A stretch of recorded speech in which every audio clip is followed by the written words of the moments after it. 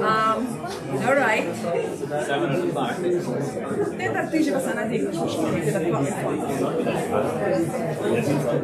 all right, everyone. Uh, good evening and welcome. My name is Samera Esmeir, and along with Natalia Brizuela, I'm the co-director of the projects of the ICCTP, the International Consortium of Critical Theory Programs. Um, I welcome you uh, to our third and final gathering in the series Thinking from Palestine Dispossession, Liberation, Return. To think from Palestine here at UC Berkeley, of course, requires first and foremost recognizing and acknowledging that Berkeley sits on the territory of the Huichin, the ancestral unceded land of the Chochenyo speaking Ohlone people, the successors of the historic sovereign Verona band of Alameda County. With this land acknowledgement, I affirm indigenous sovereignty over the land and my commitment as a scholar to continue to hold UC Berkeley accountable to the demands, not only the needs, of the American Indians and indigenous peoples both here and elsewhere.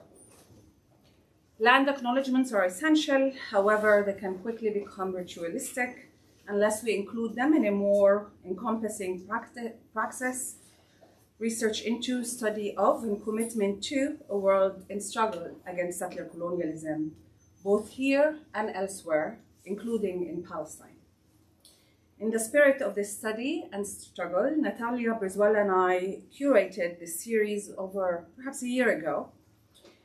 Since then, Israel's obliteration of the Palestinians has intensified, becoming a genocide in Gaza, removal from the land in the West Bank, evacuation from the public sphere in Israel, and arrests and tortures of Palestinians uh, across the, uh, the geography of Palestine.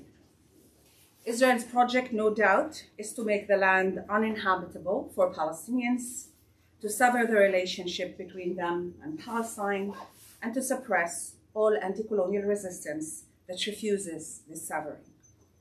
Hence, the emphasis of this series has always been not only on, on dispossession, but also on liberation and return. This uh, emphasis is ever more urgent at present. Aside from a workshop we're hosting in Tunis on the rhythms of revolt in a couple of months, our gathering this evening is probably the last in person event that Natalia and I are organizing on campus as the co directors of the projects of the ICCTP for the past four years. Right, now, right, Brianna? This is our last. Yeah. We have been able to carry out our projects with the generous support from the Andrew Mellon Foundation and the Office of the Vice Chancellor for Research. We thank them for their support and generosity. In imagining how we would conclude our four years of collective study, Palestine proposed itself as not only the place, but also the cause that condenses so many of the troubles and hopes of this world. Troubles and hopes we have been studying, researching, and publishing on for the past four years. Before I introduced our guest, Nasser Abourahme, uh, in conversation with Sharad Chari, I would like to thank Brianna George, the manager of the ICCTP. Everything we do is possible because of her work. I also want to thank our colleague Nora Jacobson Ben Hamid for her support of the series.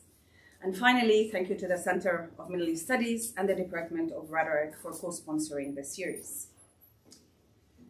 So now, it gives me great personal pleasure to host Nasser Abourahme on our campus and to introduce him. He is a writer and academic and currently assistant professor of Middle Eastern and Northern, uh, North African Studies at Bowdoin College. His work is between comparative colonial history, political geography, and political theory, and has published broadly across journals and edited collections. I will mention a few of my favorite pieces. Of Monsters and Boomerangs, Colonial Returns in the Late Liberal City, in the journal City, The Camp, in the journal Comparative Studies of South Asia, Africa, and the Middle East, and Revolution After Revolution, the Commune as Line of flight in Palestinian Anti-Colonialism in Critical Times. I have also just read a piece of his, a forthcoming, forthcoming piece in Radical Philosophy titled In Tune with Their Times. His book, The Time Beneath the Concrete, Camp Colony Palestine, is forthcoming with Duke University uh, Press. I will just say, because he will say more and Sharad will say more, that I think the book is historic. First, in the most immediate sense that nothing like it on the topic has been written before, but also in a second sense that the work is conscious of the historical juncture it inhabits, of its own historical time, it performs the struggle over and within the time it studies. In conversation with him is our own Sharad Chari of the Geography Department, and who does not need many introductions to this audience, but I will say that in addition to his many articles, he is the author of Fraternal Capital, Peasant Workers, Self-Made Men, and Globalization in Provincial India, and more recently, Gramsci at Sea. His long-awaited book, Apartheid Remains, will see the light also with Duke University Press in about a month from now. Please help me welcome Nasser Awad.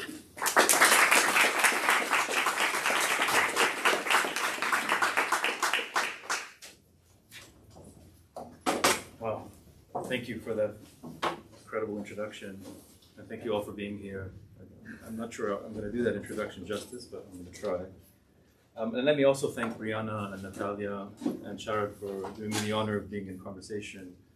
Um, it's not really easy to be anywhere these days, but uh, it's nice to be here. Okay, uh, I'm going to start with the unavoidable, and I'm going to start with genocide. Um, not just because can't really talk or think about anything else myself these days, but also because I think what I'm talking about in this book and what I'm trying to get at in this book in terms of settler colonialism as an impasse, in terms of the persistence of these forms of life uh, under duress, and the camps uh, really is at the core of what's going on today. Um, which is to say that I think the only way to really understand why we have gotten where we are today, this almost frenzied, obliterating total violence that we are bearing witness to, is really to come to terms with Zionism as a settler colonial project that is at an impasse. It is, it is at a foundational impasse in my reading. And it is at a foundational impasse in my reading because it's defined by the stuntedness of its conquest.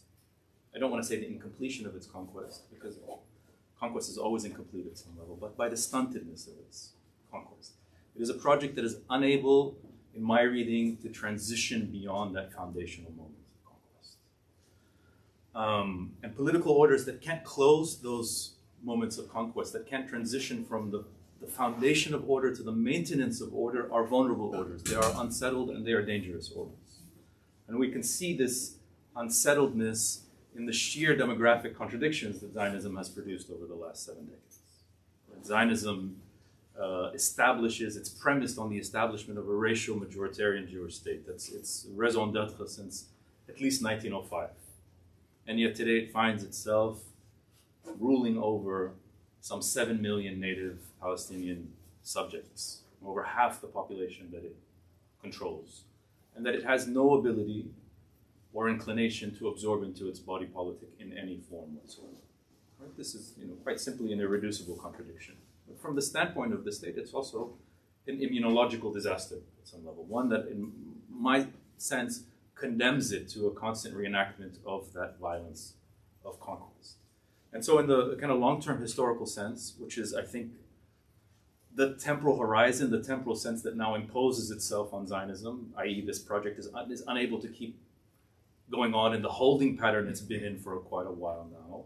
It's, it's really kind of uh, faces the project really only has two options at some level right? either self negation in a form of equality or genocide and obliteration. Um, so, from the standpoint of a, of, a, of a settler order that's stuck, that feels besieged, genocide is not really an Ill, illogical choice. It's not really just punitive. Right? It's a way out. It's a search for a way out. Um, it's a kind of corrective return, if you will, to that foundational moments. So the, the, the conjuncture, I think the conjuncture is really defined by that dual sense, by this dual sense of opportunity and threat, by frustration, impasse at, uh, on, on the one level, and a sense of freedom and exit on the other. I think that's what really kind of defines the conjuncture now from that standpoint. And I think that dual sense is where we can locate both the nature of this violence, right? Its limitless sort of uh, status. There are no red lines in this violence, but also everything that comes with it, right? The sheer, uh, the sheer will to discourse, the sheer incitement, the genocidal incitement that is so pervasive and seemingly irrepressible, right? And I mean the almost daily calls. They've been toned down a little bit now out of, of fear of, of courts, but the almost daily calls to flatten, to wipe, to annihilate that permeated this system. Um, but also in the affective discharge around the violence, right? And I mean the clamor, the mockery, the sort of ritualized humiliation that we see, uh, this kind of constant imagery that pours out, right? The, the, the, take the imagery of soldiers posing within the lingerie of women they've displaced or killed, which is incessant. Um, I think you know the only way to kind of, you know, it's the only way to kind of come to terms with all of that is to recognize this sort of very, uh, this release of long pent up frustration in the kind of libidinal drive of this project, or the release of long pent up exterminatory energies that I think have always been there, but have been have been sort of uh, uh, stuck for a long time, and that now feel free in this moment, moment of vulnerability, but also license to pursue this object of desire. So really what I want to say in these, in these sort of prefatory remarks is that the genocidal turn is a way out, it's a search for a way out of the foundational impasse of this project, right? Um, that's, that's how I, I, I understand it. And what the book essentially is about is about this temporal impasse. It is about the impasse and it is about the forms of life and the forms of refusal that have shaped this impasse, that have kept the impasse as an impasse in a, in a certain sense.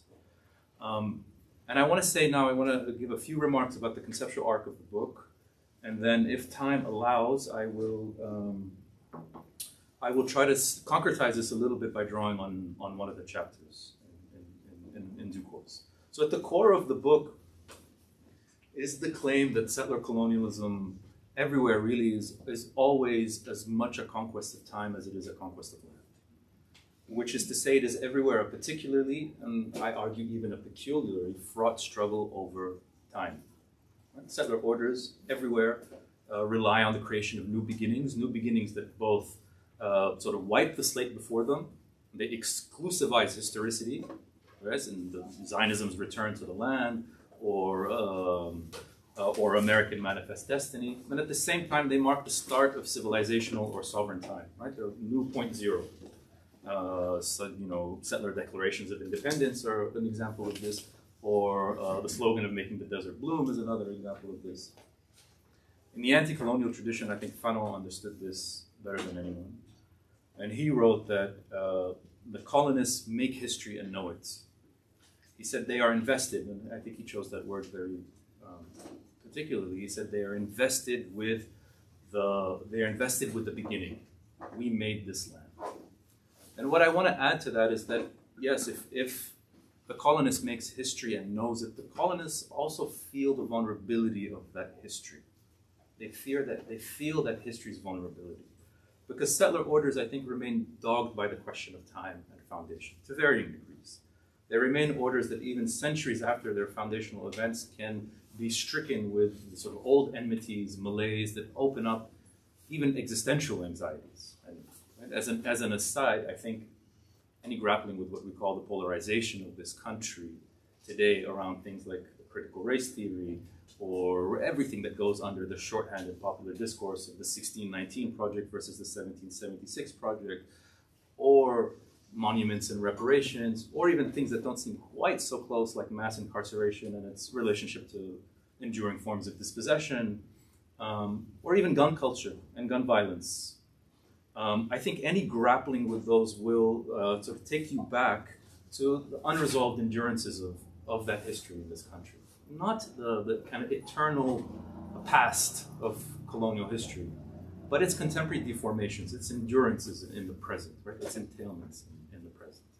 I think that I think uh, I think that's that's what you would end up grappling with. Um, my claim in the book is that this fraught struggle over time is nowhere really more apparent than in the question of Palestine. As I as I said, Zionism is a settler colonial project, in my reading, defined by its inability to move past the past. Right? It's stuck at that moment. Um, so, in a very real sense, uh, time is the object of struggle in Palestine. If you want, a, in a fundamental sense, the struggle is a struggle between a political order that seeks to close time, right, seeks to close time in regimes of law and property, that would render dispossession a mere technical formality or a thing, of, a bygone thing of the past, and forms of politics, forms of refusal and return that seek to keep the time of foundation open. Right? They, they refuse a closure. They seek to obstruct the transition to a presentist regime of law and property. I think that is, at some basic level, the, the, the way to understand the, the, the nature of the struggle. Why is this transition important? Why, and what does it have to do with the camps? The question of transition in my reading is important because it is about the central drive that structures all settler colonial projects, which is the drive towards self supersession. And here I'm, I'm borrowing from Patrick Wolfe and I'm borrowing from Lorenzo Veracini, and I have some misgivings about Veracini's treatment of settler colonialism and Zionism, but I think in this respect, I think he's fundamentally correct which is to say that every settler colony at a structural level, not just in a historical, but at a structural level, um, seeks to transition and achieve itself in the settler ceasing to be settler, in the settler becoming uh, a defunct political category, a given. Right? In other words, settler colonial projects ultimately seek to move forward, even if they never accomplish that fully, but they seek to move forward um, and move toward not just the elimination of the native, which we're fairly well accustomed to, but also the nativization of the settler. Yes? Um, to, to remain in a state of temporal irresolution or question is, I think, a problem. It's a bind. Um, and I think there are ways that I can come back to in, in the in the Q&A in which that sort of temporal irresolution can be an advantage, it can be a sort of productive failure. And there are moments in American settler history in which it really was a productive failure um, at, at, certain points in the 19th century, and I can come back to it. But I think at, at a fundamental level, it's a problem. It's a bind. It's something you have to resolve. And I think that's clear enough in Zionism's surface level anxieties and its demands, its injunctions, right? The demand to be recognized as a Jewish state by its victims, by those it has dispossessed, not just by the rest of the world, by those it has dispossessed, which is in fact a demand that the dispossessed accept their dispossession as final and uh, irrefutable. The, the fears and the campaigns and the tens of millions of dollars poured into uh, the fear of what it calls delegitimization, uh, the constant uh, uh, declarations of its right to exist as a state and a political project the energy poured into its diplomatic normalization and recognition, and so on. There's a long list. These mark the regime's drive towards what I would understand in this framework a kind of self supersession, a kind of transition. I, I should be clear that um, the, the, the, the impasse, the inability to transition, doesn't mean Israel is sort of less complete or less successful than uh, other settler colonial orders. I want to get away from a sort of success failure binary or the sense that you know dispossession is a done deal in the rest of the settler colonial world. Um, it's not. I don't think it is. It's not. It's not finished anywhere. But it does mean that uh, Zionism is more stuck. It's more stuck both in the temporal sense that I've been trying to get at, but it is also stuck with a blunt set of political instruments. A blunt set of political instruments that really, in their own right, obstruct and belie its claims to transition right? Uh, and these include things like formal apartheid and the distinction between nationality and citizenship. The Israeli nation is a, is a the Israeli state rather is a state that does not recognize an Israeli nationality. An enacts a split between nationality and citizenship that's absolutely foundational to its political order. But um, also things like permanent military occupation, the longest running military occupation in modern history, permanent states of siege, large scale warfare that seems permanent and unending that's now taken this genocidal obliterating modality. But also, and I think most tellingly for me, the systematic reliance on extra legal discretionary settler violence. Its reliance, it is central to how this project achieves itself, right? Which means its dependence on the frontier mob, essentially. Right? The mob is a political actor, is a political subject within this project in its own right. Now, every settler colonial order, in some way, every colonial order, really, not just the settler colonial orders, initially relied on a, a frontier mob right? And that's how the, the West was won, after all. But in most of, in, at least in the sort of Anglo-American sphere, um, that temporal and legal gap was closed. Yes, you'd re retroactively legalize what the mob achieved, undoubtedly. Um, that's how you that's how you claim the land. But you close that gap. Right? You, the law extends. The law eventually reaches um, now, of course, that, that doesn't mean it ever really goes away.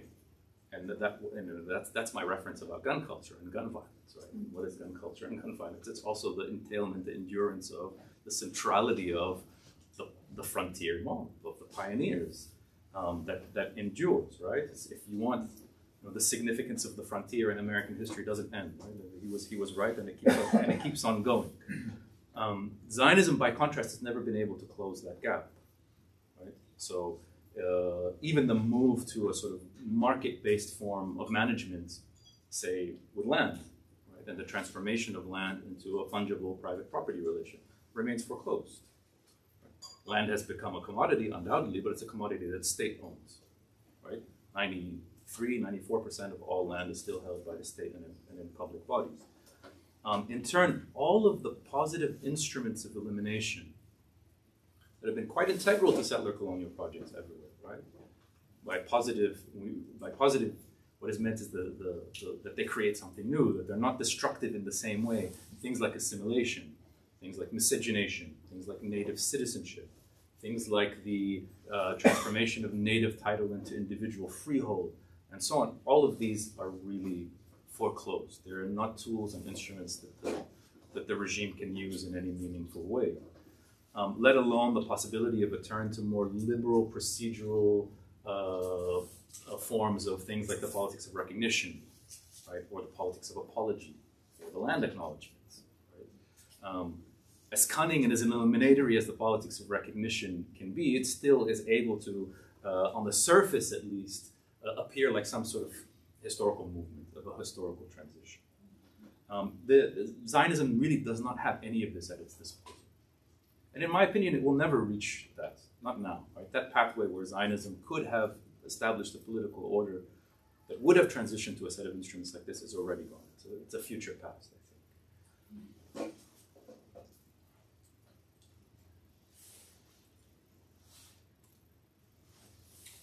So I want to turn to the camp now, because I think this is this is really where the question of the camp is located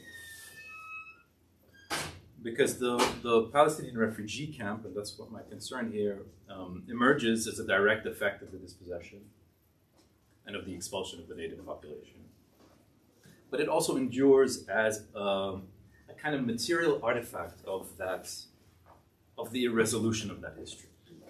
Right? So the, the, the camps here for me are, are not a metonym. I'm not really uh, using them as a metaphor per se, even if I slide into metaphor sometimes unwillingly, but they're not really that and they're not simply a paradigm or an exemplum, which is a, a certain way of thinking through the, the camp object. Um, but they are materially present. They are objects and life worlds that are materially present at the center of this ongoing history of dispossession. And let me just situate you a, a little bit before I, I, I, turn again. There are today uh, 58 official UNRWA camps, right? These are the official UN administered camps across the region. Uh, which about a million and a half people inhabit. So the vast majority of these camps were established in 1949 after the ethnic cleansing, the expulsion of about 800,000 um, Palestinians in what, what is commemorated as, as the Nakba, about half the population of Palestine. Although there's a significant number that will come up now uh, about six that were established in Jordan after the 1967 war. Right? These were established uh, mainly to uh, shelter about 300,000 people that were uh, pushed out of the West Bank, most of them refugees, twice displaced, and they went from one camp to another. Um, in 1949, uh, on the recommendations of uh, Gordon Clapp, who was then director of the Tennessee Valley Authority, uh, there's this UN agency called the United Nations, the United Nations Relief and Works Agency that is inaugurated. Um, and it takes over as a sort of interim developmental, sort of humanitarian, but not really a solution to the question. Right? And it gets two mere uh, scant terms of reference when it's established. The first instructing it to do this relief and work uh, and employment in the camps, and the second, which underlines how interim it, it was, instructing it to begin preparing for its undoing, essentially, for handing over its responsibilities to the host governments, what were called the host governments, i.e., the neighboring regional states that, that you saw on, on, on the map there. It was an arrangement that was meant to last all of two years. And in, the, in Clapp's eyes and in the eyes of the people who inaugurated this regime, it was going to last two years. By 1952, it would be done. Um, and so in the book, I take these camps as sites of knowledge not as a, not as a sociology. I'm not trying to do a sociology of a particular camp, and I'm not really doing an ethnography of encamped refugees in, in any sense. What I'm interested in is how you can tell this history by telling the history of the camp as a political object. Right? Um, so it's something, if, if, you know, if I can go so far, it's something like a conceptual historical archaeology of the camps to kind of trace these layers in the camp's built environments as, as uh, across these uh, archives and practices, right? To track how the camp has been conceived, how it's been planned, how it's been regulated, uh, how it's been built, uh, how it's been demolished and targeted, how it's been defended and valorized. Um, so it's at, at one level, it's both a kind of archive of the of the camps, right? Building an archive of the camps from these different archival sites, and it's also the camp as a kind of archive in its in its own uh, in its own sense. So each chapter uh, tracks the place of the camp in a in a particular archive, and it follows it. In the archives, like I said, of the of the Tennessee Valley Authority of the TVA, which is a kind of uh, a prehistory of the camp, a prehistory of the camp that emerges at this very particular intersection of post-war techno developments and a racial reordering of the globe in the wake of the challenge of decolonization and anti-colonial nationalism. But it's also a history that drags with it from the American South and the black question all of these racializing presuppositions that structure the TVA, right? Around idleness and around the corrective effects of work that really kind of get uh, hardwired into the camp regime. Um, in the archives of the UN agency, UNRWA, that, ju- that I just talked about, as it consolidated its camp regime in the 1950s and 60s through instruments of urban planning, but around a very particular notion of authority, a notion of what it would call administrative authority that would, in my reading, in, sort of indirectly preempt, maybe even prefigure uh, the wider technocratic turn that would be coming and which sort of finds shape in, in mass encampment today in the archives of the Palestinian Revolution in the 1970s and 80s uh, and the 1960s, as it sought to transform and overcome the camps as sites of sort of immobilization and discipline into communes of sort of forward insurrectionary movements, right? But also sites of social transformation and all the kind of contradictions that that brought up. And in the archives of the Israeli state in the 70s and 80s that was haunted by the temporality that saw in the camp's impermanence uh, its own impermanence and began to see these as somehow wrapped up together and began to see a sort of intervention with one as an intervention with the other. So much so that they would spend decades devising plans and interventions that were all about the complete undoing of the camps. And I want, in the time that's left, I have no idea how I'm doing for time. I'm good, okay. Um, I want to share a fragment from this last chapter um, about the, the, the, camps in uh, the Israeli archive and the camps in, the, in these projects. Um, in that chapter, I look at this sort of 20 year period between 1967 and 1987, more or less, in which the camps, especially the camps in Gaza, become these sites of repeated state planning and intervention. Right? They were all aimed one way or another at undoing the camps. If you wanted, decamping the camps. Um, here's a list of some of these. These extend to refugee resettlement before they come into for control of the camps in the West Bank and Gaza, but they will extend into it. Um, and really, there are practices and interventions that range across a, an incredible variety of modalities and logics. Right? Um, it ranges from uh, massive town planning and employment schemes that would resettle tens of thousands of refugees at the same time, to uh, camp improvement and municipal incorporation. Can we improve the camps to a degree and incorporate them into neighboring municipalities such that they would stop being camps? To housing projects for refugee resettlement, or bespoke housing projects uh, that the public, that the military government's public works uh, department spent decades working on in the, 19, in the 1970s, especially that would see the rehousing of uh, refugees, of encamped refugees in these sort of settlement, in these new housing projects, sometimes just a few hundred yards outside of the campus. Um, and in the end, of course, the most salient modality, um, wholesale camp demolition and clearance. What was uh, often what often went under the guise of counterinsurgency. And these practices ran consistently. It wasn't, you know, refugee resettlement and camp undoing wasn't a minor policy.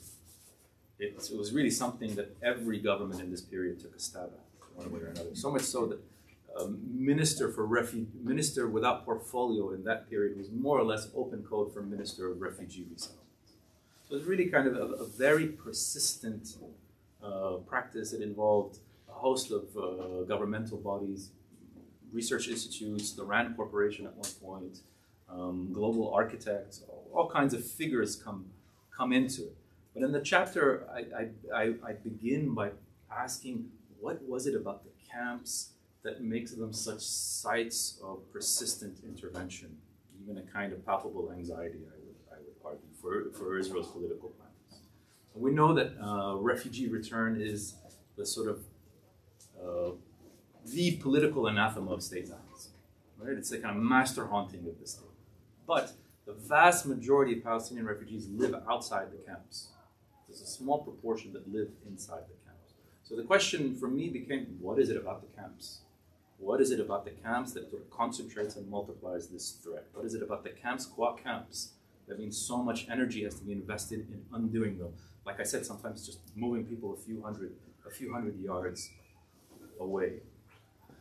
By way of an answer, we can take these near identical statements. One by an ostensibly left wing Israeli politician, Dov Zakin, in 1972, who, from the ranks of the opposition, proposed a plan for the complete uh, removal of all camp inhabitants in, in, the West Bank and Gaza, everyone. And, um, and one by an ostensibly left wing Israeli journalist, two decades later, as he writes in this um, much praised I would say, tellingly titled book. It's also a terribly written book, but you know, that was my, my pain to suffer. Um, both, both identify the camps and their inhabitants as the hardcore of the problem.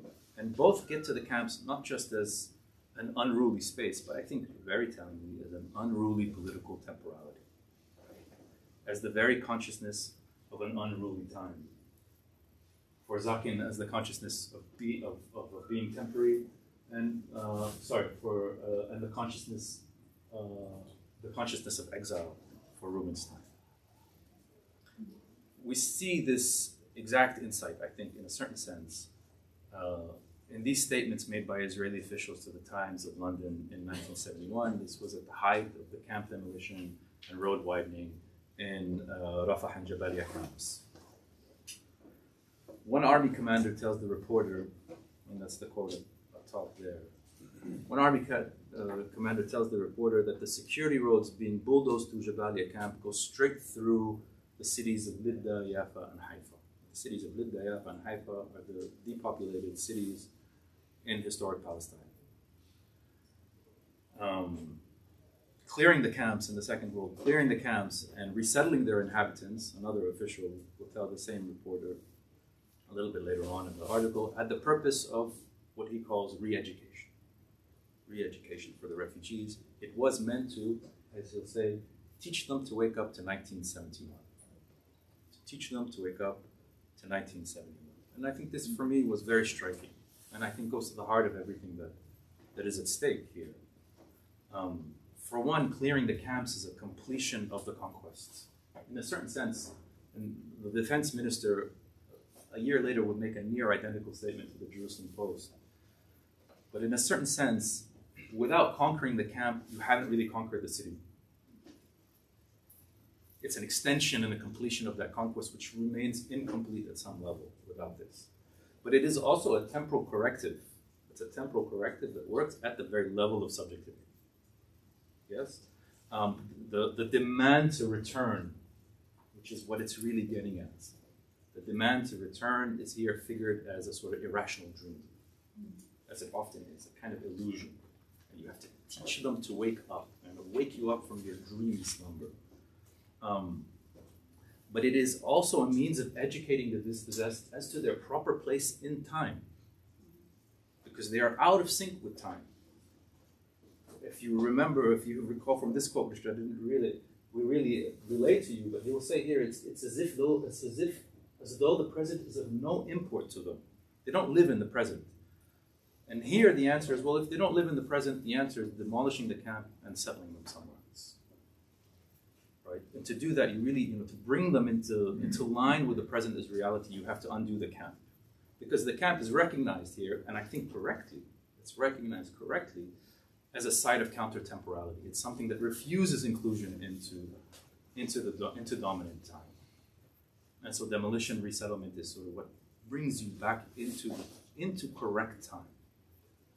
Um, and so here the camp, I think, doesn't simply mark this unruly, recalcitrant time. It is this time at some level, and that's what I want to get at. Again, it is this unruly time.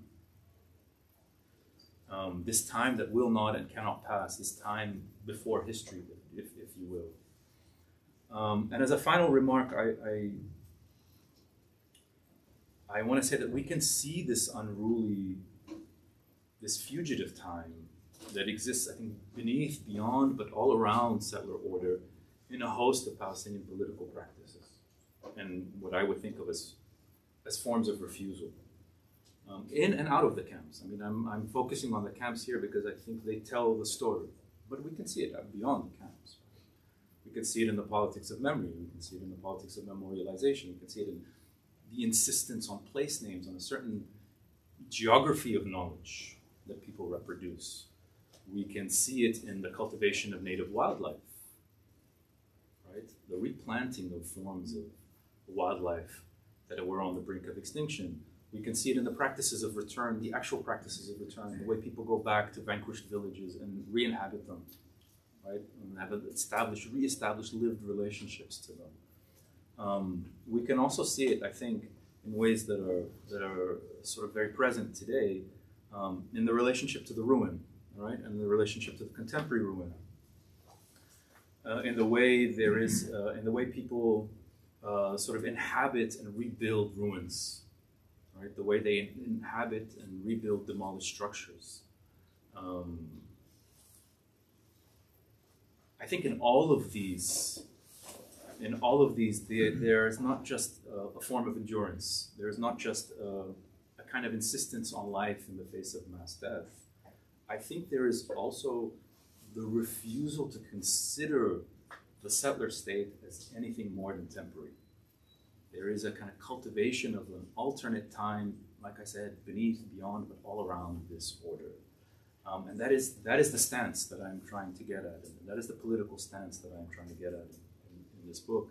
I think the secret, and this is the final thing I'll say, I think the secret of this power, and it is a kind of power, I think secret of this power is not in any decisive finality. I think the secret of this power, of these forms of life and refusal, is, is in how they keep time unsettled Thank you very much for listening.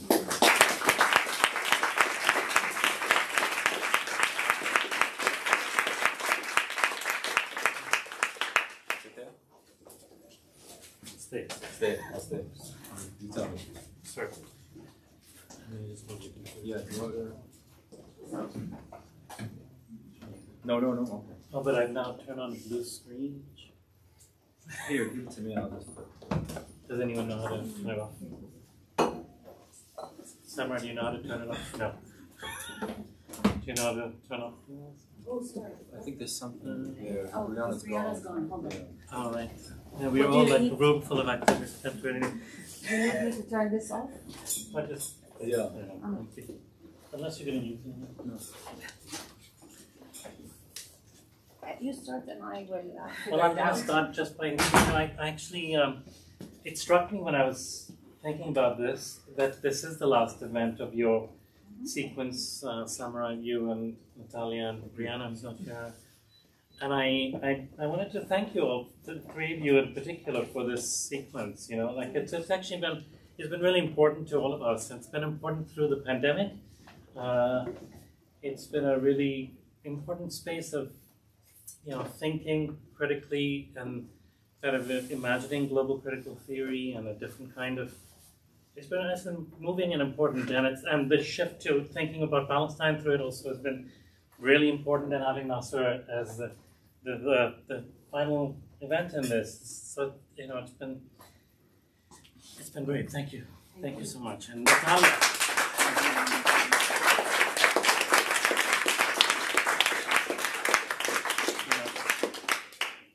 Um, particular excitement to respond to Nasser's book. I'm about, I've been a huge fan of Nasser's work ever since I encountered it, and uh, the book has. I've had the pleasure of sitting with the manuscript over spring break, and uh, and it hasn't uh, let me down. It's the time beneath the concrete, camp colony Palestine. It's an erudite reckoning with the spatial history of Palestine a recasting of the question of politics at this time.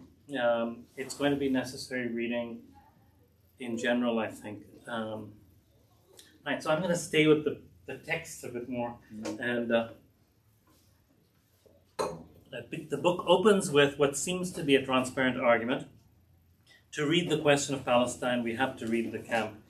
The camp is the issue. Al Mukhayyam huwa al Qadiyah this statement repeated in refugee camps, it is itself prismatic. Al Qadiyah, the question, issue, cause, indexes what it means to attend to the question of Palestine. It does not simply speak its truth, it can signify general, albeit differentiated, condition of encampment, um, a sense that, um, Nasser puts it, all Palestinians are encamped, encamped one way or another but it can also point to differentiated experiences of the permanent temporariness of camp time, permanent temporariness in tense relation with a larger voluntary encampment, the settler colony itself. Reading the question of Palestine through the statement, that camp is the issue, requires attending to the endurance of colonial dispossession and violence through, well, through many returns of foundational settler violence and deferral of Palestinian statehood this, this, this line of thought through endurance and deferral takes us to his central argument with the concern with struggles over land and space as also over time. We just heard that. On the one hand, Israeli settler colonialism is mired in foundational violence. On the other hand, Palestinian struggle denies the closure of settler futurity. As Nasser puts it, Palestinian refusal impinges impinges on settler time, surrounds it, smuggles its fugitive temporalities beneath and above it, and all the while, and with every passing day, chipping away at the order's certainties while keeping the question a question.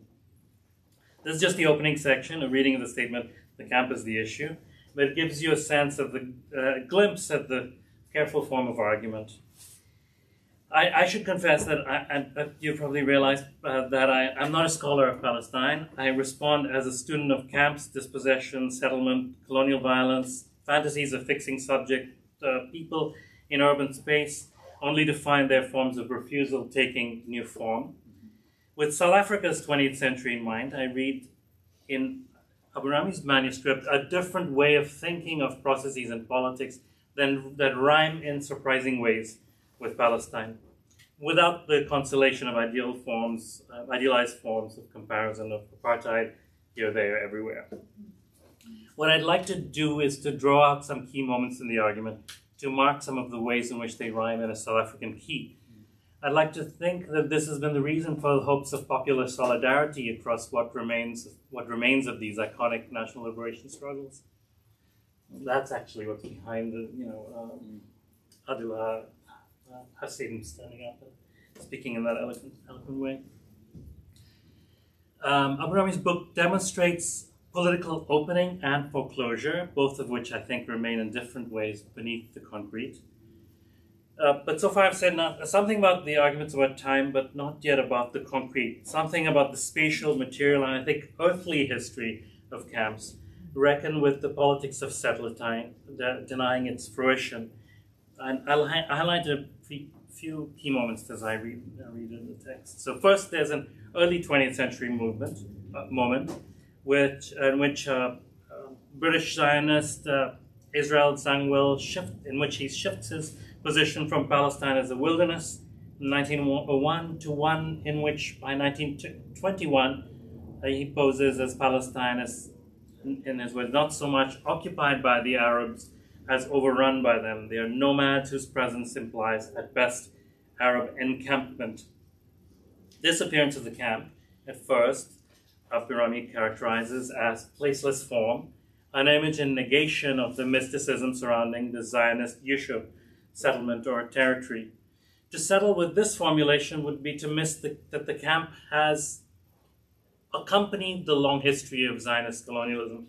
It has been, as Abourahme puts it, it's overlapping accomplice. Um, put simply, both British and Zionist colonization relied on a variety of camp forms, forms that brought together a flexible mixture of penal, carceral, extractive labor, exploitative, demographic, and, and territorial logics. Kibbutzim drew from German agricultural colonies, wall and stockade formations of the Great Revolt of the 1936-39, the British mandates prison labor camps, foreshadowed Zionist labor camps of 1948, post-Nakba absorption camps, Palestinian refugee camps. Ann Stoler frames the camp and colony in deadly embrace in a conjoined conceptual matrix that admits differentiation and filiation. Abourahme, I think, makes a sharper case for their specific entanglement in the inability of the Zionist project to resolve the opposition of settler and native. The argument is reminiscent of Fanon's dramatization of colonial space cut in two, directly clarifying political stakes today. I'll conclude to a more specific argument about the provenance of this Fanonian argument I, I, that I, as I read it. The South African question also rested on how to diagnose the lasting effects of a relation between camp and colony. The camps in question were British concentration camps of the dawn of the 20th century, sites of imperial humanitarian rescue of Afrikaner women and children in a war of attrition against Afrikaner guerrillas. The very name Afrikaner, which means African, is an audacious settler claim to attachment in Southern Africa the most influential historiographic accounts of the origins of apartheid spatial forms pose the political technologies honed in the concentration camps at the beginning of the 20th century and in migrant labor camps as providing the spatial archetypes that culminated in apartheid's generalized apparatus of racial spatial uh, planning. Most more recent work returns to the forms of expertise with less teleological certainty specifically biopolitical expertise in public health and town planning that mediated hopes of racial and spatial containment while displacing struggles to the terrain of the biopolitical. And now there's substantial work on networks of progressivist expertise across settler colonies that sought to use these biopolitical tools differently, quite often cutting the body politic. Several enthusiasts for progressivism and segregation in early 20th South Africa were also early supporters of Zionism, from architects of municipal self-government to urban segregation to pioneering figures in social medicine who left the landscape I worked on the onset of apartheid in 1948 and they went to Israel. Um, when South Africa's National Party came to power in, in 1948, it had to substantiate what it actually meant by apartheid, but it did not pursue anything like the Nakba Instead, it continued long-standing processes of expulsion and resettlement using law and planning twisting the discourses of development and decolonization. For its adversaries, the long, slow process of dispossession kept the land question alive, but nothing like a Palestinian politics of return. While the history of the Anglo-Boer War camp was not exactly writ large over the, across the century, the forms of biopolitical expertise brought to bear on subject populations through it has cast a long shadow at disciplining refusal. Thinking in parallax, what is striking is that the Palestinian refugee camp as a socio-technical object could not quite diffuse an insurgent political will, but rather kept the politics of Palestine and of return alive. Um, this takes me to Abourahme's account of the socio-technical history of the camp, but hinged on the UN um, Relief and Works Agency tasked with building, administering, providing services to refugee camps. And we saw in a fascinating twist, TVA, the TVA's Gordon Clapp had this mission that uh, allowed the Israeli state not so much to face the recent violence of the Nakba, to, but to defer the anxieties of settle, settlerness through the socio-technical discourse of planning, or perhaps to disclose through effacement the violence of the Nakba and passive voice description of crumbling economic life. Mm. The workings of the technical committee resonate with the South African state's attempts at biopolitical territoriality in the 1930s and 40s, when the, the tools of statistical certitude, the, the census, the survey, were quickly set aside because biopolitics in the settler colony had no need to seek consent from most of the governed. But the new Israeli state's turn to technical apparatus is chilling yeah, because it is in the immediate, immediate wake of the Nakba. The ideological response seems to pull out all the stops in its references.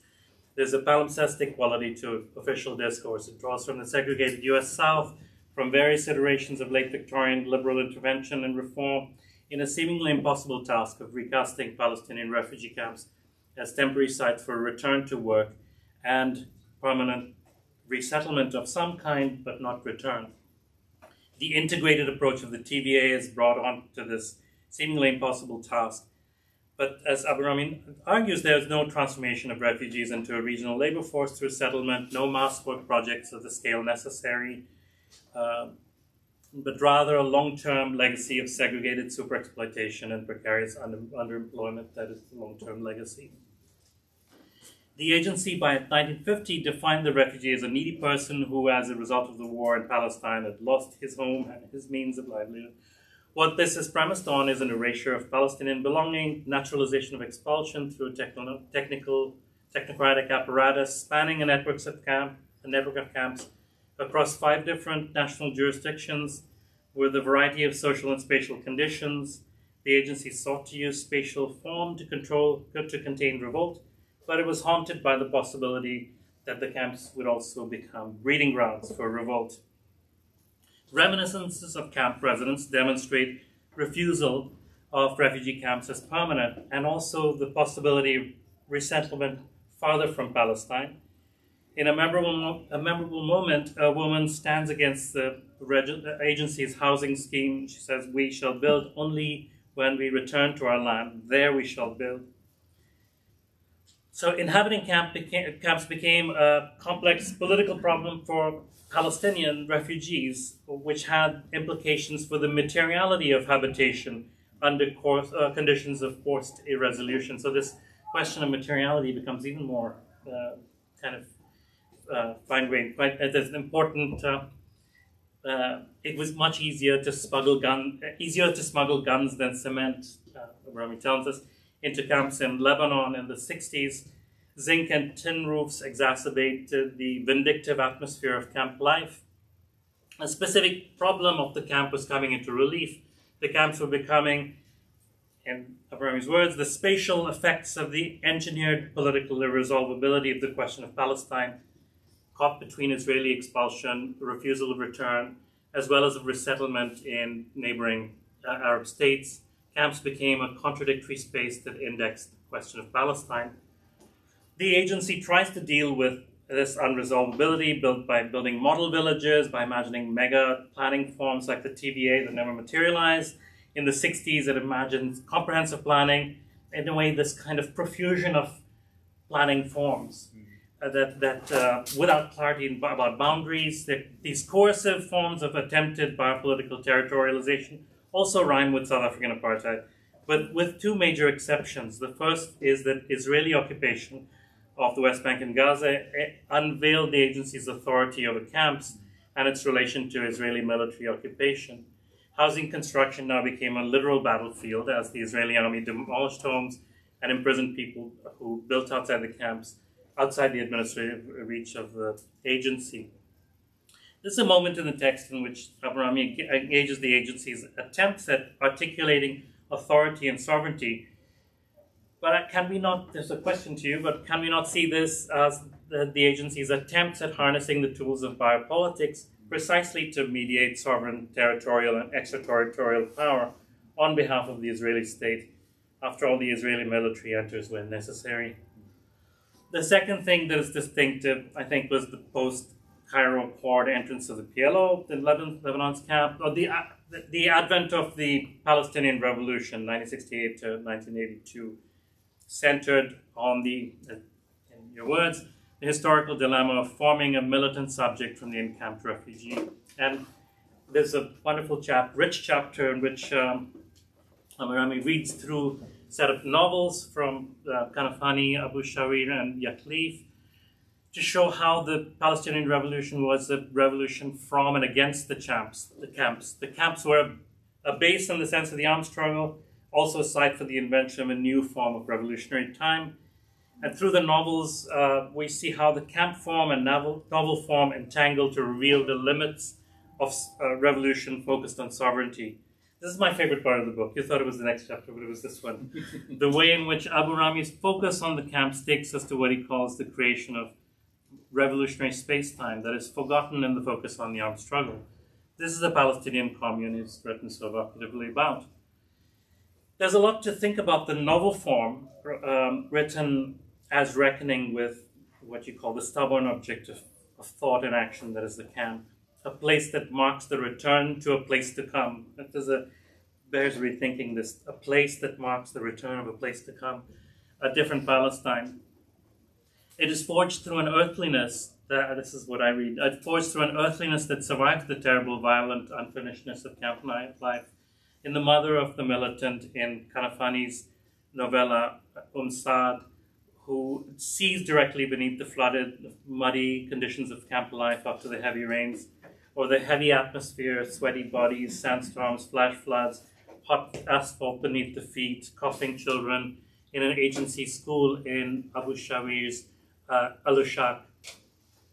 The elemental and earthly life that survives and motivates militant politics is also an earthliness that is beneath the concrete, even in terrible times in which it is reduced to rubble.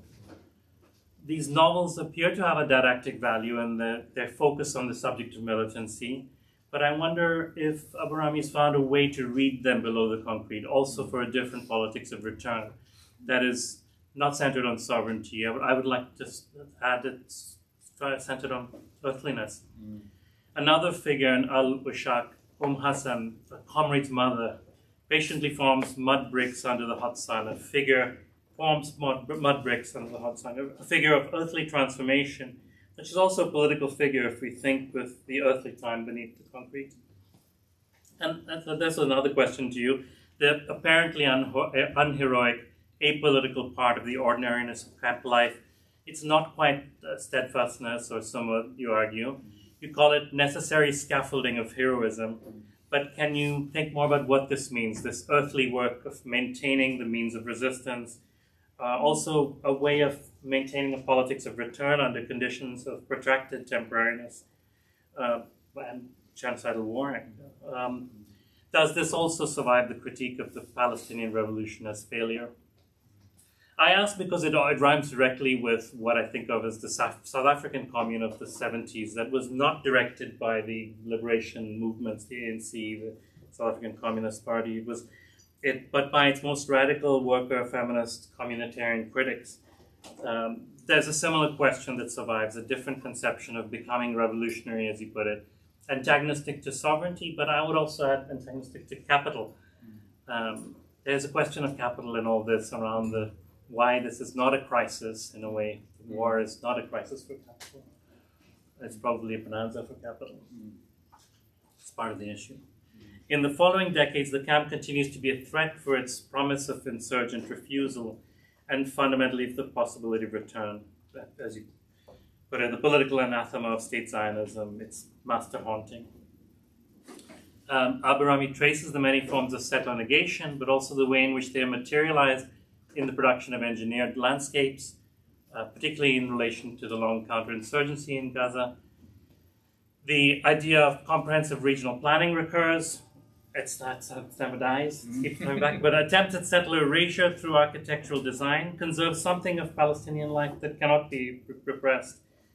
The camps were undone through demolition and improvement, through the lure of private home ownership, uh, as long as people demolished their camps, uh, their homes, their camp homes.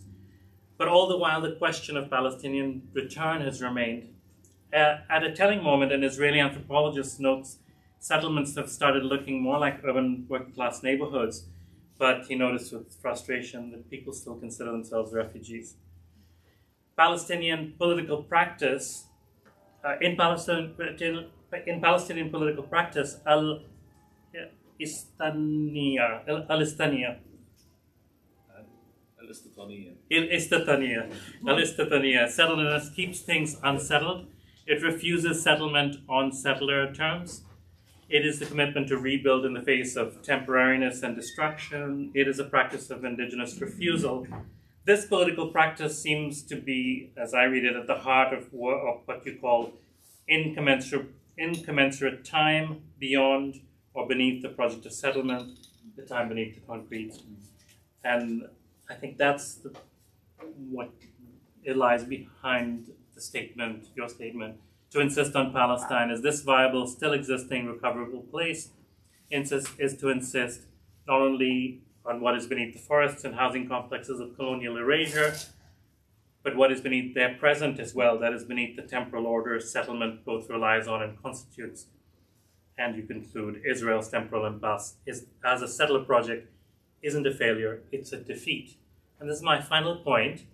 I wonder what you think of this reading, that to see this defeat, we have to follow Abourahme in the text as he pierces the fear and loathing of camp people, the fear of those who will, who will pay with life and limb before anything else, and those who are therefore unwilling to forego insurgency this is a point I want to return to. This is where I want to return to that finite aspect of the argument. The colonial relation is sharpened precisely here the spaces that experience the ongoing colonial violence, and a reminder of the always unfinished work of repression. And there are a couple of questions that emerge from this. Does this mean that the technical sublation of the colonial relation, in, for instance, in restricting sovereignty, has also failed and if so, can we think of the Palestinian revolution beyond failure and defeat while the camp remains the issue? And I've asked this already, but are there not other revolutionary times beneath the concrete? The woman, woman making the mud brick in the sun, admonishing the world, and also standing as more than the mother of the insurgent. I wanted you to reflect on her uh, relation to another politics beneath the concrete. Mm. Thank you for Thank you. Thank you.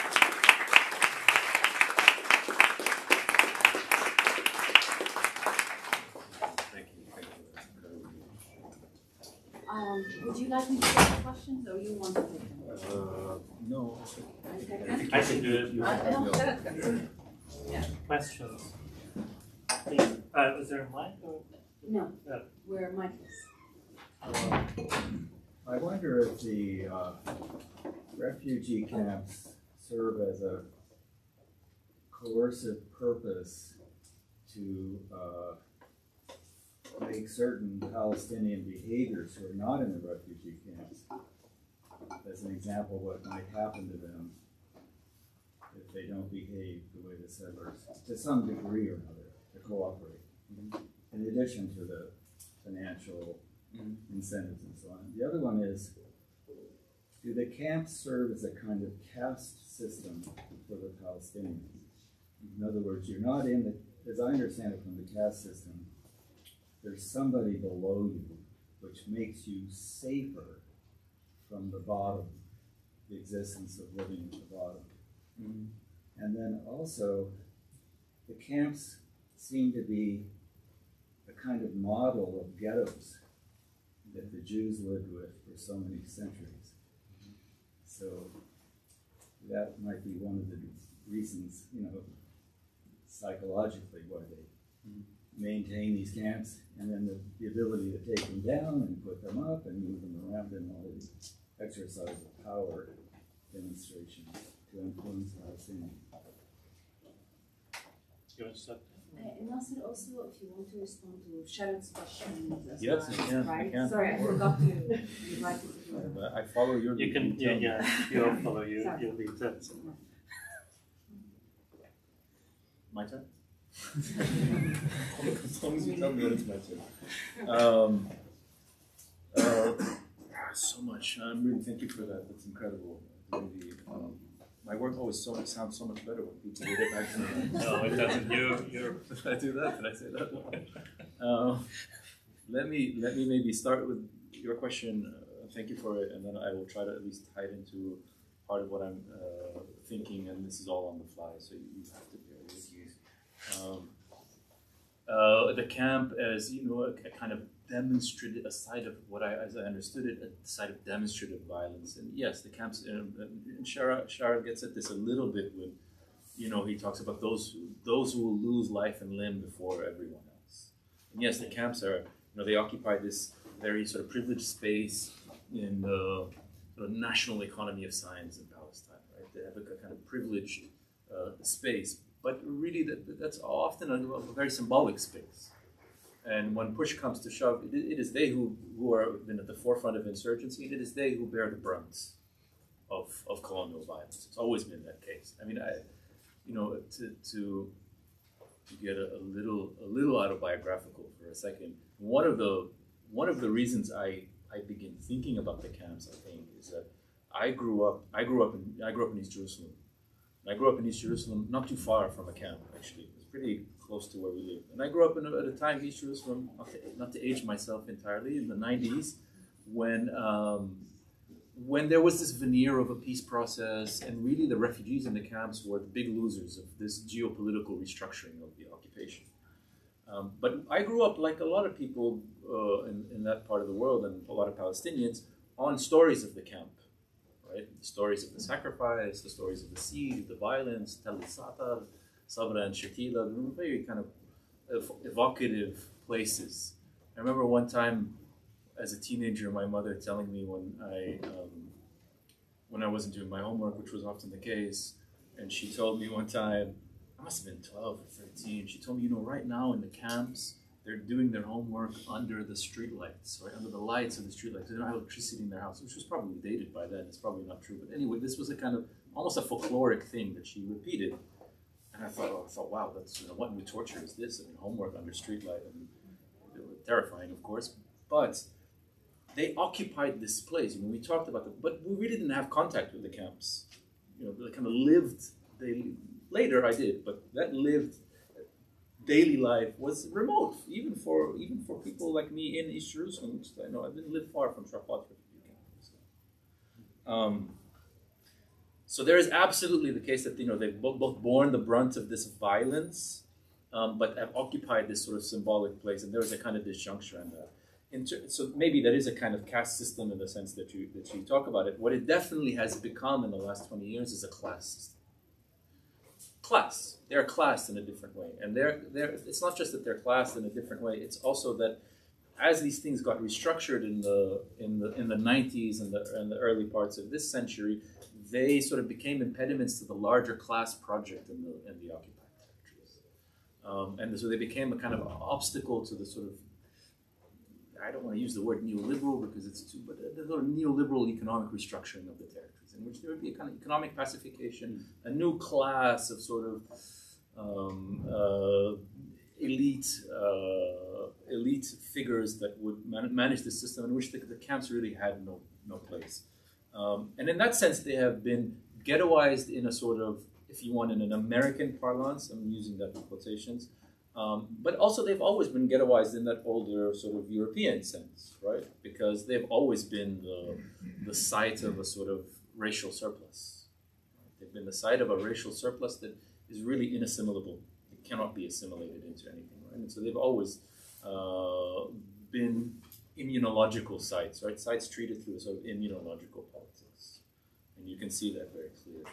Did you feel lucky when We might Sorry, have uh, time for follow-ups later. Later, we'll, ch- we'll chat. We'll chat. Um, I think that, you know, at, at that point, there is a kind of time. I'm just going to pick up on one of uh, Sharad's questions, and I, I will try to get to the rest.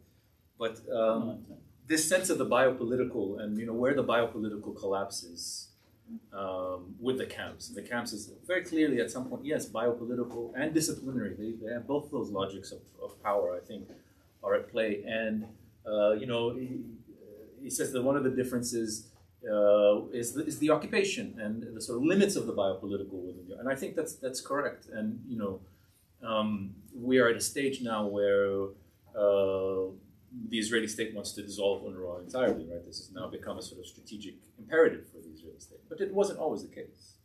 When they occupied the West Bank and Gaza, in fact, they they created a very real modus vivendi with UNRWA and with the agency because they relied on UNRWA as a biopolitical formation, right? Who's going to feed and house and educate these people? They didn't want anything to do with it. But very quickly, the, the you know the, the, the other logics that are at play that completely overwhelm Israeli biopolitics in the occupied territory, right? They're overwhelmed very quickly, which is the necropolitical and the settler, really, right? The, the, the drive to elimination completely overwhelms the biopolitical. And so they, they, they, they the, the, the relationship breaks down very quickly, right? And they begin to, to, to sort of push back on oh, UNRWA's uh, statuses, right, on its immunities and its privileges. Um, and there is really no horizon in which the refugees are biopolitically managed by anyone, really, by, by the Israeli state, or in which they would become, and, and, I, and I think here is where we can think in that key, in those that, that rhyming with the South African case, in which they would become uh, a sort of biopolitically managed labor force they are they are super exploited, but they are first and foremost an expendable impediment to the project.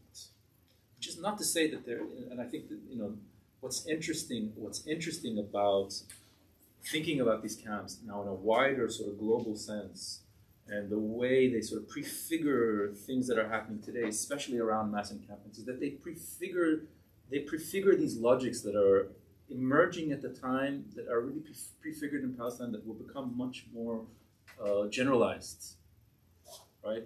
One is what we were just talking about in terms of the ghetto, which is a racial surplus to uh, to a body politic, and of course they're not the only ones. What they how they stand out is the intractability of that surplus, right? The durability of their encampment, which is also something that gets generalized now, right? We are in an age where mass encampment is not just mass, but it's long term.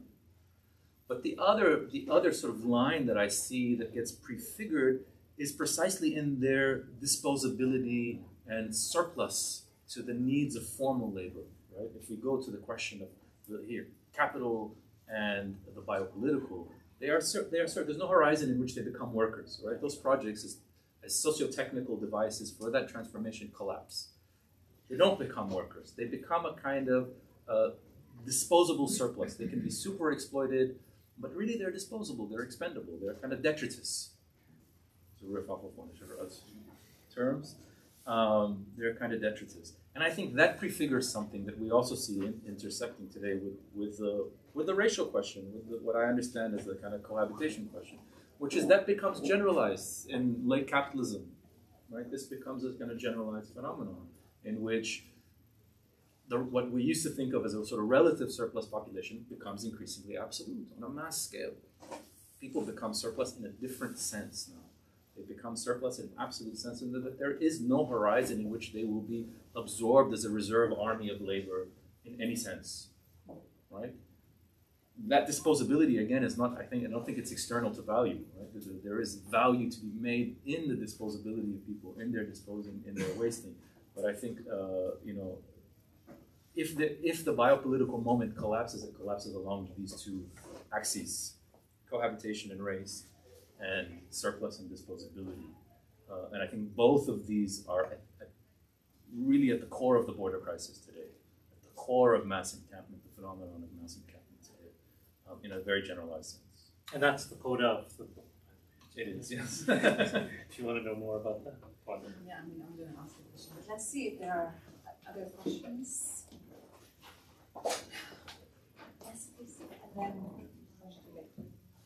Um, thank you so much, Miss. I really enjoyed hearing about this work. Um, I have two maybe somewhat unrelated questions.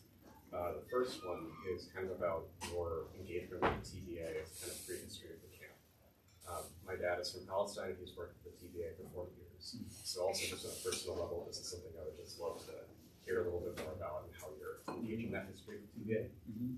Um, and secondly, I have a question about Irit Katz's book, um, The Common Camp, Mm. and sort of how some of the arguments you're employing in your text are either critiquing in conversation with doing something slightly different from, from what she was doing in her book. Mhm. Um, so just kind of an invitation to maybe speak about some of those differences. Thank you. Should I take more questions or should I answer? What would you prefer? Oh, you're the boss, you tell me. Go ahead. Okay, so um, thank you, thank you. The the the TVA and the prehistory of the camps. Um, I think there are two. For me, there were two main things at stake in that chapter. First, that uh, it, it, there's an important shift in how we understand where this camp regime emerges from. There is a there is an assumption that it, it emerges out of this humanitarian post-war humanitarian moment. Um, every book that I read on the camps, on this camp regime, on this institution, sort of assumes that. Although they all start by gesturing to Clapp and the TVA as a sort of just gesture. They say, "There's this guy. He came. This survey mission. They did this work for a few few months, and then they inaugurated this regime." But no one, no one delves deeper than that. But actually, what I, I, I wanted to get at is that. Uh, there's a prehistory there that is not really about humanitarianism per se. It will intersect with humanitarianism, but the, the, the resolution that inaugurates the camp regime happens two years before, before the UN Convention on the Protection of Refugees. And really it emerges at a sort of techno-developmental moment in the post-war orders. And the TVA is really fashioned in that sense as a way of not just projecting American power, but really managing the fallout of a world that is rapidly undergoing decolonization, rise of anti-colonial nationalism, and the threat of Soviet communism. And the TVA becomes a certain name for dealing with that and shoring up the hierarchies that now were on the verge of becoming sort of extinct uh, through another means. Right? You could not rely on the same uh, sort of discourse and logics that had structured say the, the League of Nations and the mandate system or the direct sort of colonial era before that, it had to be packaged differently. And it was going to be packaged now uh, through technical expertise, through technical assistance, through technical hierarchies, this notion of the technical that does a lot of work, um, and this sort of imperative of a will to work, sort of getting people to work somehow. Um, and I say the camp emerges out of, in part out of that moment, but then I say there's something else that gets missed in the story, which is that TVA comes from its, its own sort of history. It comes out of this context of the segregated American South, and it brings with it a whole bunch of, and what I saw is a whole bunch of racializing presuppositions about how, what its work, what it's going to do. And those have to do with idleness, which is a concept that just is all over there, that, that archive and and, and, the, and the documents and a, and a notion of, of, of, a corrective work, right? Work as rehabilitative, work as what is needed for people that are not quite ready for self-government or self-management.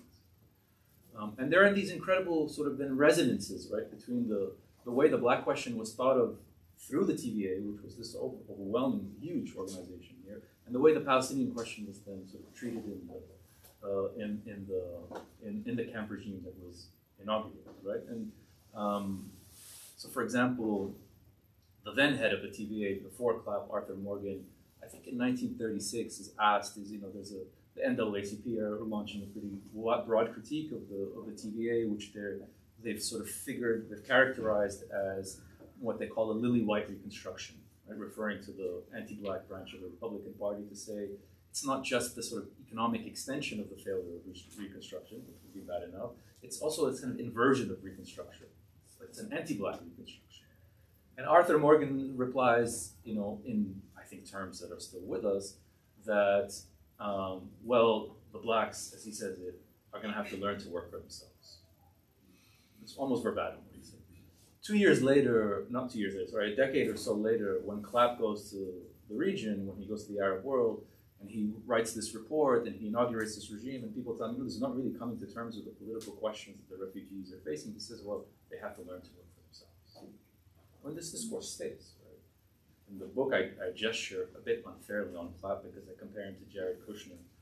Um, Clapp is an infinitely more decent human being than Jared Kushner. I want that on the record. But nonetheless, what Kushner says in 2020 during the George Floyd uprising, he says, Well, my father in law can't help black people take the opportunities that are there. And then I think like, a year or later or before, when he is talking about the absurd, absurdly titled deal of the century, he says, You know, this is a deal that's going to be there in the meantime because we're going to work on the economics because the politics are too hard. Exactly what the Clapp mission set out to do. Um, because the Palestinians are not yet quite ready for self governance.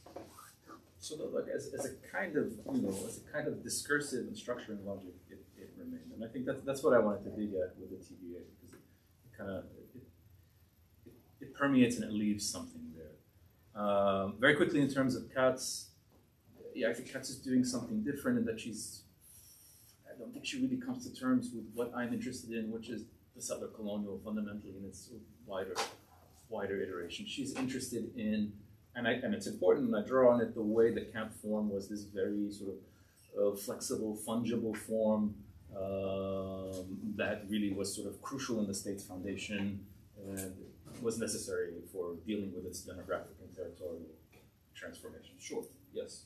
Um, but I'm trying to get at the, the, the, question that really has to do with the nature of the settler colonial project.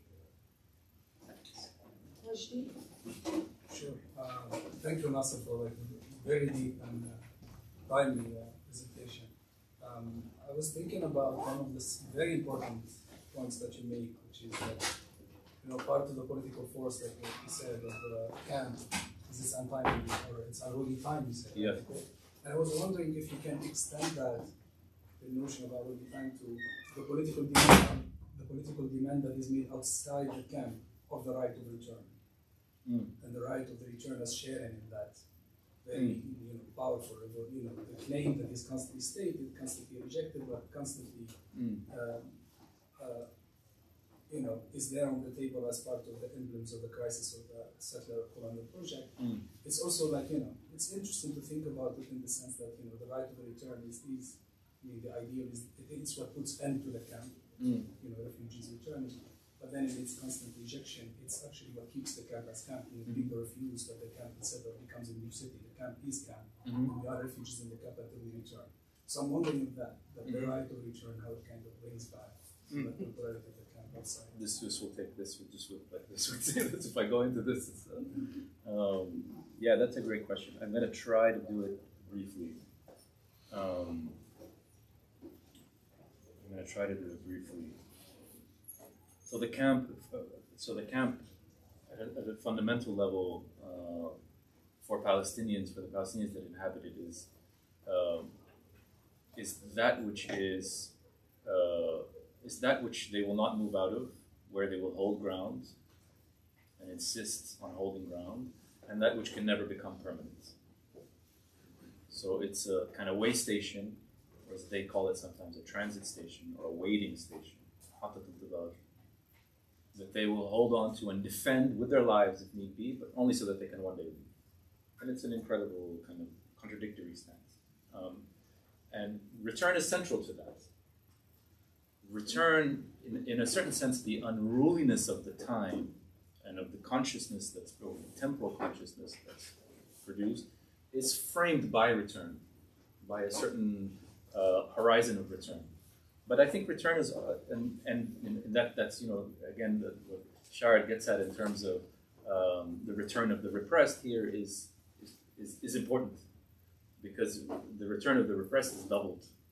It's the return of the repressed literally, physically, and it's the return of the repressed psychically um, in, from, from, from the viewpoint of, of the state. Um, so of course, the, the, the bind is that the state refuses, doesn't allow people to return, and that keeps the camp a camp. And the state wants to undo the camp so that that, that potential horizon of return, that unruly time, will be, as they see it, negated. Um, and that, that that's the uh, kind of, you know, in a certain sense, the impossible position the Israeli state finds itself in with this with this control, and one that it sets out to treat with uh, a sort of you know brute materialism.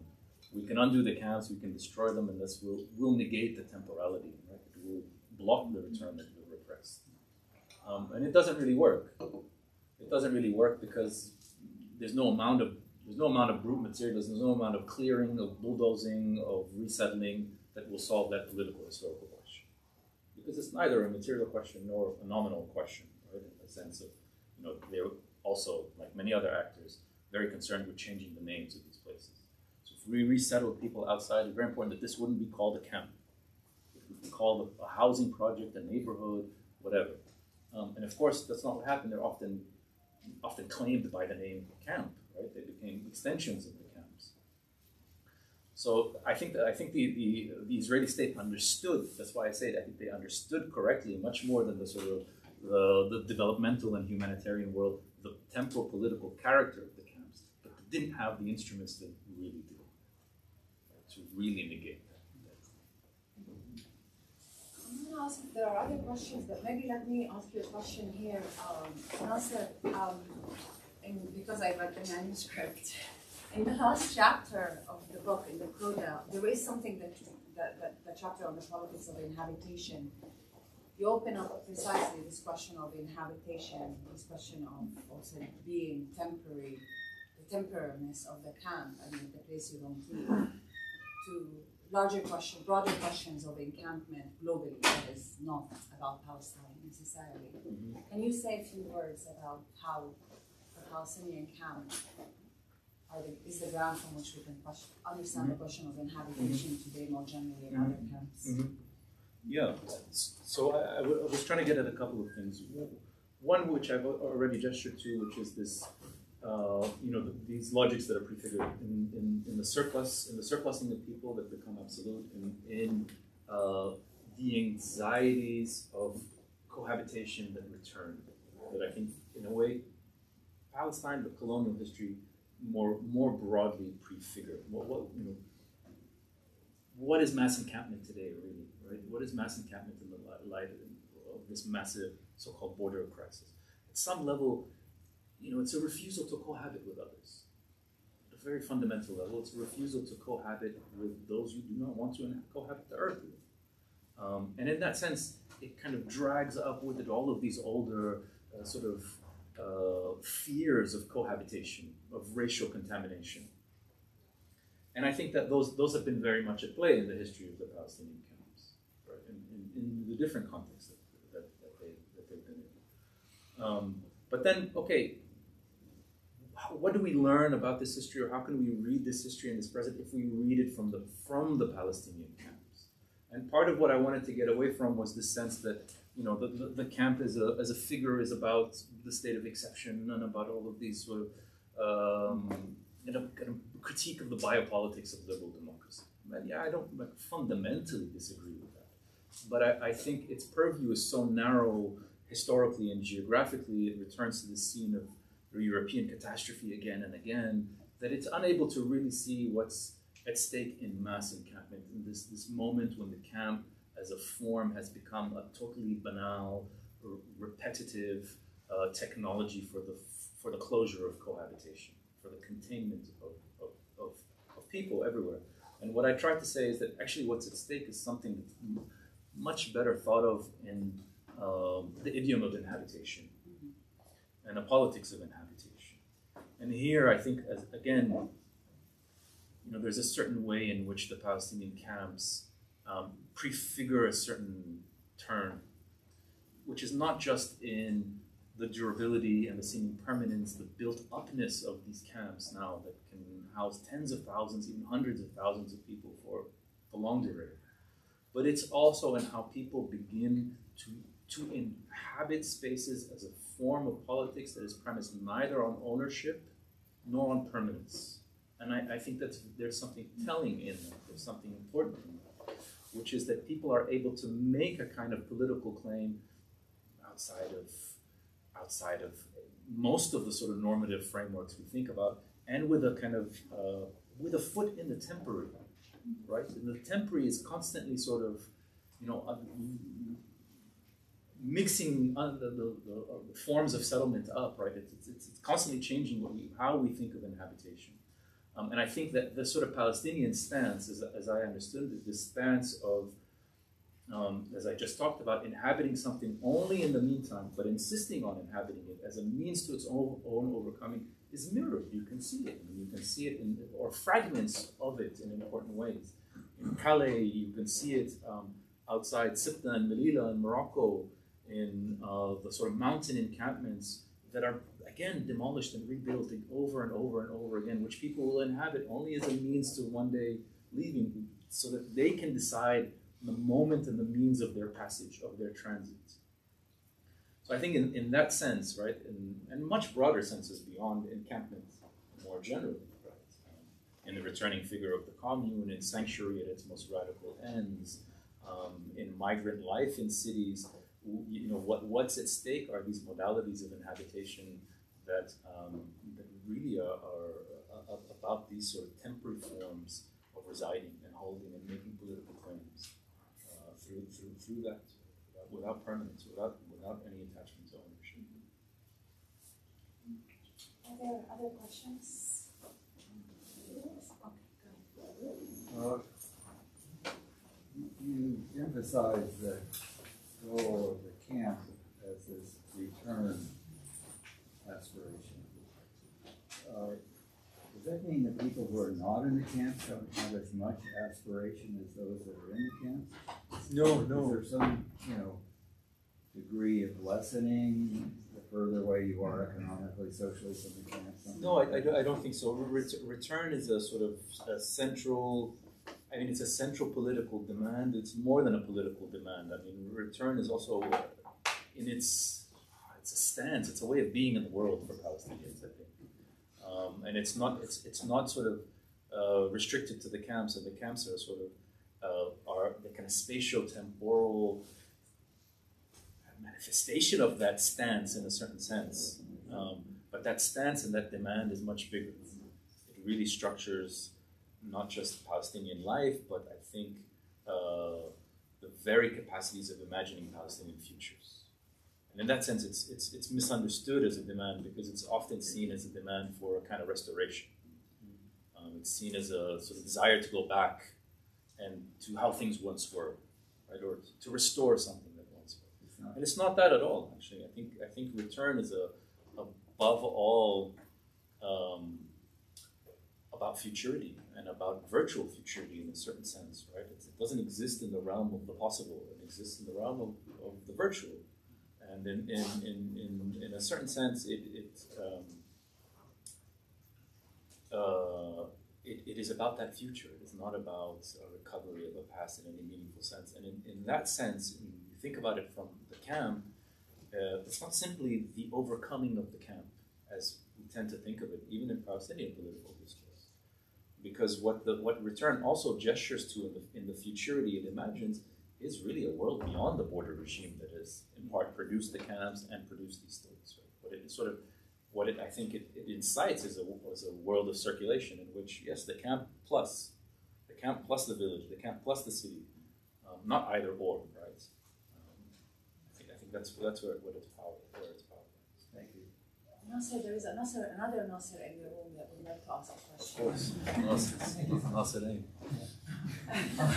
Nasser um, oh, thank you so much. I, I, I, I want to follow up on Sarah's question because I think I got lost a little bit in your response, and I just want to understand it better. It may mean that I just need to read the code to understand it. So, um, so in, in returning to the question of what the Palestinian camp suggests for camps more generally.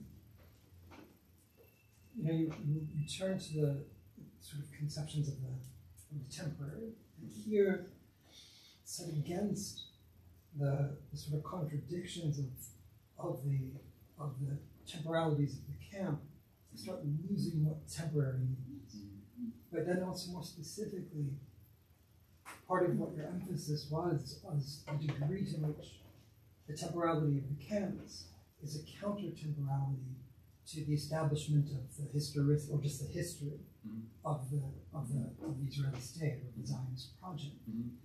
So then I think what I want to understand better then if that is the model, are the is the counter temporality characteristic of these other camps that you're looking at? Is that a counter temporality that is also kind of marked against the histories that are being Mm. formed? Mm. Or is it a counter temporality just on the level of some other conception conception of the temporary?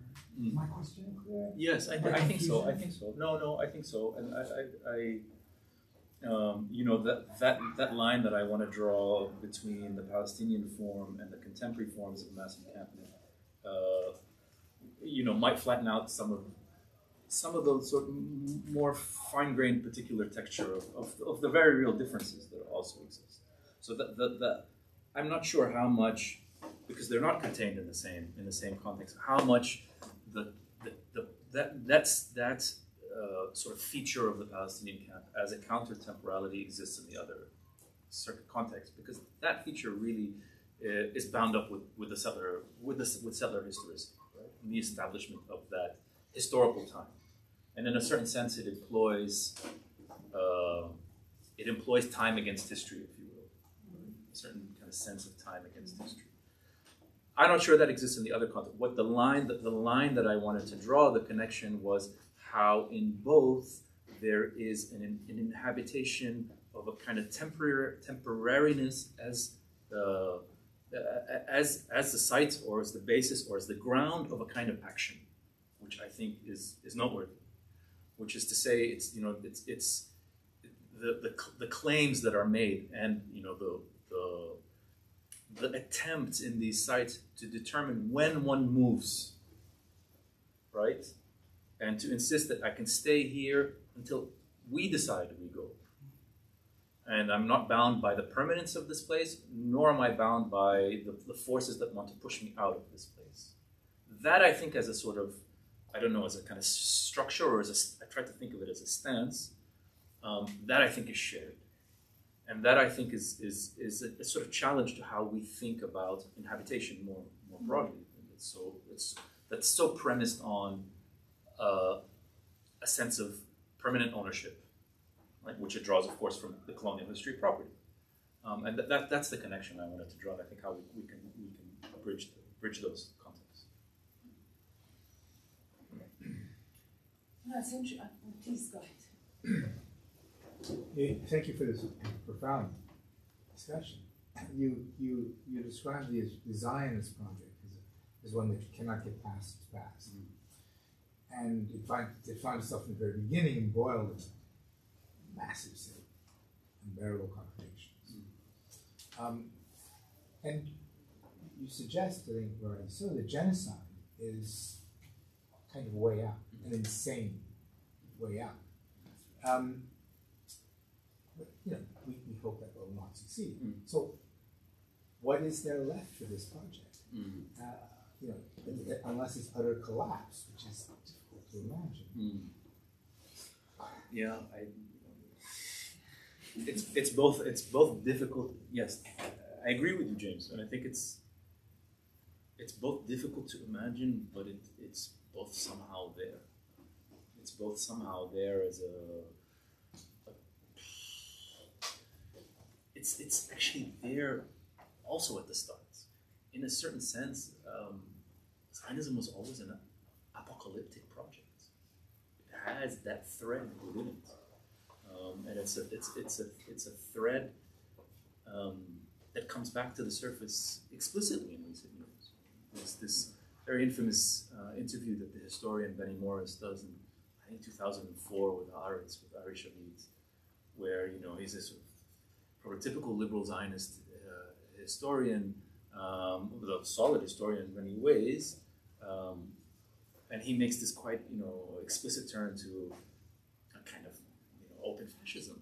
He says, "I, I see expulsion on the horizon again." And the interviewer Shavit, who make his own turn in due course after that interview, says, you know, but, this could mean the end of us here if we go genocide. And he says, yeah, it's always been a sort of that's always been the stakes, and in a certain sense, that's you know an effect of the lateness of Zionism as a colonial project. Uh, it's an effect of of uh, that expansionary moment in '67 that wasn't able to reproduce what happened in '48 for a number of reasons.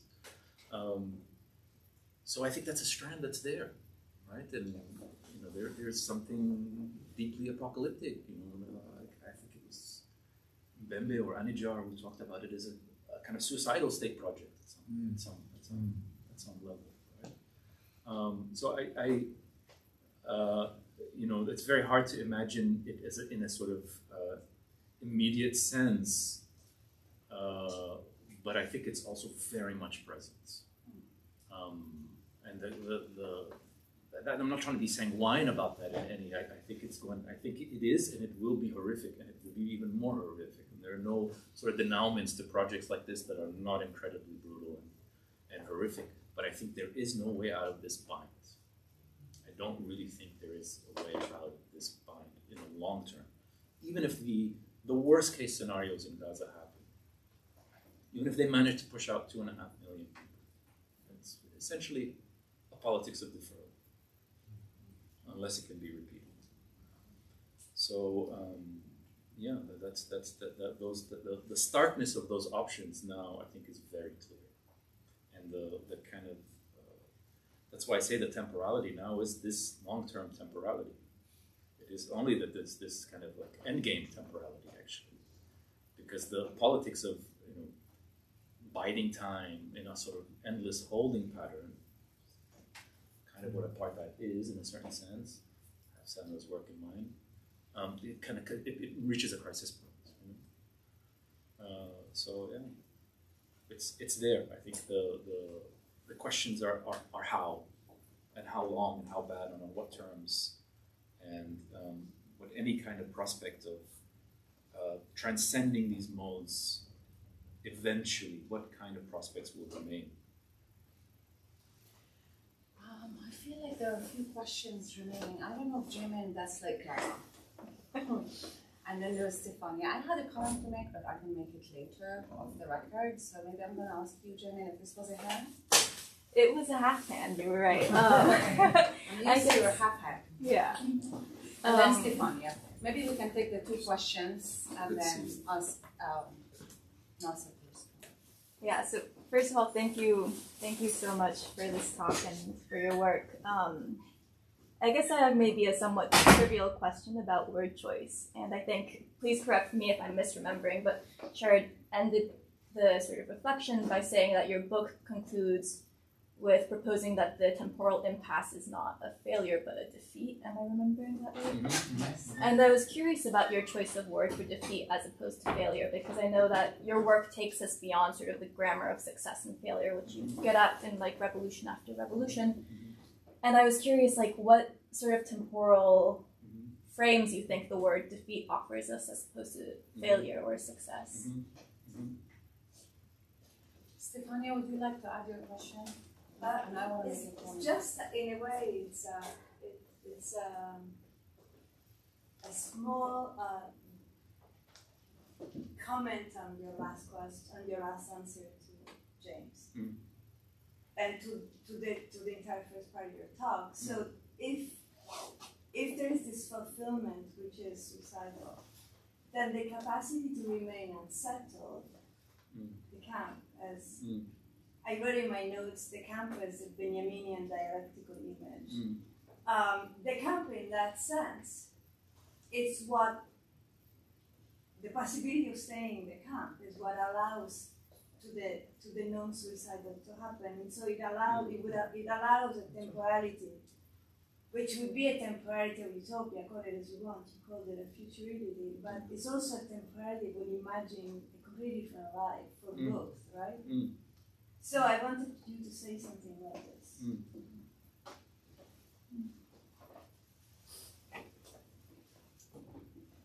I just, it, it's actually related to what also James said, and this question of permanence that I have to say, I, uh, I use it in my own thinking, and now I just decided I'm completely wrong. um, because I used to think, and now I know I'm wrong, um, uh, I used to think that what Israel doesn't allow the Palestinians to do with this host demolition, destruction, complete obliteration of infrastructure, of social life, buildings, neighborhoods, is the inability that the, the, the permanence is not possible. You cannot build something that is permanent. And um, that is, you cannot intergenerationally pass memories through permanent structures, through urban life, through, and, and I now realize that I was Arendtian, which I didn't realize because I try not to be. Um, and I realized that the permanence was here Arendtian for me, and listening to you on, and, have, and, and of course, when I move in Haifa in various places within 48, and I see the permanence of infrastructure, right? That's why, how can you even think of it as failing project, right? Because you see the permanence, and I think what you've given, what you've given me today, I, I didn't notice this before, is is really um, permanence is not a way to stay to be of the world, Mm. right? That there are other impermanent ways if we really think about politics of inhabitation seriously. And then it's that impermanence, and I think it does relate somehow to Stefania's last Mm. comment. But to, to really take seriously impermanence um, is, is what I'm now also learning Mm. from your Mm. um, is what I think could be also a critique of Arendtian Mm. permanence. Let me Mm. put it this way. Mm. But let me give you then the floor to answer Can uh, Jamin and Stefania. have a footnote. Just that, just that, that what I saw as the earthly Yes. in your readings of those novels is exactly, it, I think, attending to. to some Yes. it. Yes, yes, yes. Wow, these are all really great questions and comments, and you know I have to sit with them all a little bit longer to do them any sort of justice. Um, but let me have a let me have a go at it anyway. Um, failure and not defeat. and Thank you for that. I, I, don't think I was thinking about it in in temporal terms. I think what I at, at- least the, the distinction I wanted to say that the impasse is a defeat and not a failure because I wanted to shift the conversation away from Zionism's sort of imminent contradictions rising to the surface, which is partly what's happening. That's partly how I answered Jim's question. They've always been there. Um, but also, it's not just that. The fact that it all comes to a head now in this, you know, genocidal moment is not just because the structure has always been uh, riven with these irreducible contradictions. It's also because the forms of refusal and resistance and persistence insistence have extenuated those contradictions, right? So the insistence on defeat is a sort of insistence, if you will, on, put it in a sort of old-fashioned sense, on the agentic, and the agentic being the Palestinian here, right? There is a subject that forces these things and not just a structural sort of failure of the system, right? There's a subject that produces that crisis, that keeps that impasse and impasse, it keeps it open, that smuggles the fugitive temporalities into this, you know, accentuates the impasse, that creates that impasse, and makes sure the impasse actually stays impasse. Um, so that, that- I think that that's the shift that I, to, make. Um, to Stefania's point, yeah, at, at- some level, you know, you can think of it would be very strange to tell this to Israelis to tell them that the camp is a horizon for, for your future as well one day. Um, but you can't think of it in those terms. I agree. I mean, there is a there, you know, in if the camp is, uh, you know, as as as I tried to put it in the end, a kind of insistence on a, a return to a, a, world, a future world beyond the border regime. Then yes, of course, it's also an, the camp and return with it is also an invitation.